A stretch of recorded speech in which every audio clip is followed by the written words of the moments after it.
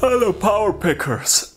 I'm so sleepy and demotivated. Just the thought of practicing makes me extremely tired. My mindset kills me and I'm close to total frustration. If you feel the same, you definitely have a problem as well. Luckily, there's a way out of that dark hole. In this vlog series I want to get back in shape. I will share all experiences and thoughts to help you and me to get back into a motivating routine. Stay tuned.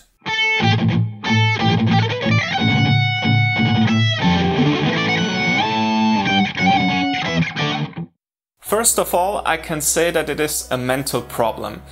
It is a hard challenge to solve it, but it is possible and it is way easier than you think. But before we work on a solution, we need to figure out where this problem is coming from.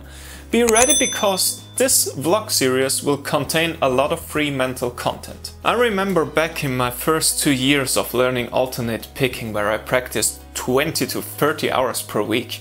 What an amazing time! I was so passionate that I trained some exercising during my lunch break in my car.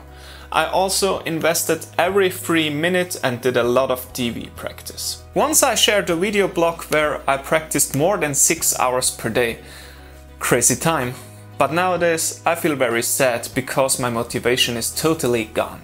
At the moment I only play through my 1 hour routine in the morning and I'm very happy that I'm strong enough to keep that habit. That hour is split into 25 minutes of playing through exercises playing through two songs and 25 minutes of learning a new song.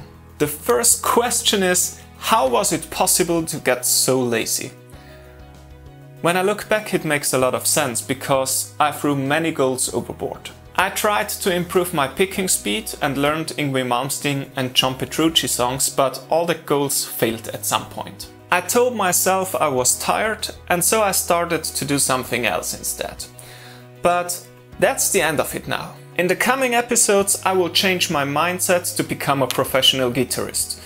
Practice should be fun. Follow me on my journey and let's get back into practice and a good mindset. Let's implement some of Tony Robbins and Napoleon Hill's concepts of success. Click the bell down below and we will meet in the next week's update.